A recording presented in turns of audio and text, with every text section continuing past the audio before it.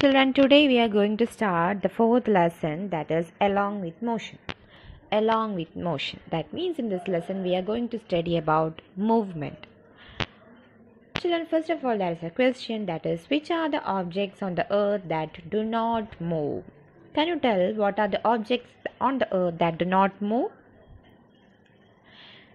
So, here a teacher asked this question to the class and the children started answering like buildings, rocks, mountains, table, chair. Like this, the children started answering.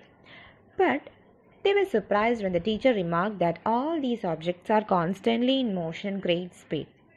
Yes, all the objects in the earth are moving. There are no objects in the earth that does not move. All objects in the earth will move.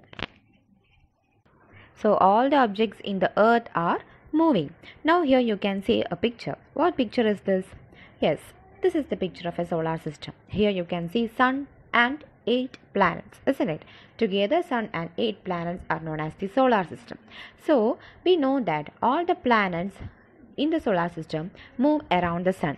So earth is also a planet that move around the sun. So do you, so can you tell what are the different motions of earth?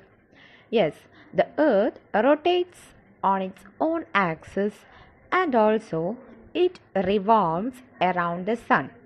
So these are the two types of motion of earth that is it rotates on its own axis and it revolves around the sun.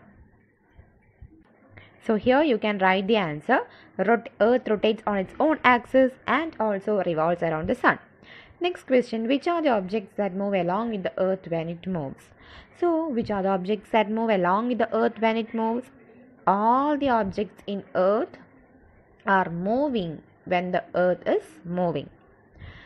And next question Can you be in a state of rest at least for a second? Can you be in a state of rest at least for a second? No, it is impossible for being in state of rest at least for a second because we already told that earth is rotating on its own axis and also it is revolving around the sun. Now, uh, now we will check what is how the earth rotates and revolves. The earth rotates about its axis at an approximate speed of 1667 km per hour at the equatorial region. So, the rotation on of earth about its own axis is 1667 km per hour and it revolves around the sun with the speed of 1,06,000 km per hour. So this is the two types of motion of earth. So now we studied about the motion of earth. Next we will check if any motion takes place inside our body. See children, when you place your hands at your chest, you can feel a movement there, isn't it? What movement is there? Yes, we can feel our heartbeat. Our heart is beating. That is a kind of movement. Like that, different movements takes place inside our body. Can you tell what are such movements? Yes, blood circulation, breathing process, digestion. Like that, different movements are taking place inside our body. And different kinds of movement are happening around us. When we wave a piece of paper, we feel the motion of air, isn't it, children? Like that, can you tell any other instances when you have experienced the motion of air? That means you have experienced the movement of air. So, one example is given there that is while sitting on a seashore. Yes, while sitting on a seashore, we can feel the air, isn't it? And then one that is already given in the textbook that is weaving a piece of paper. That also we can feel the motion of air and then when we look at the sky we can see the clouds moving. That is due to air isn't it? That is also an ex- example for motion of air. So these are some instances when where we have experienced the motion of air. You can find out more and write there in the textbook.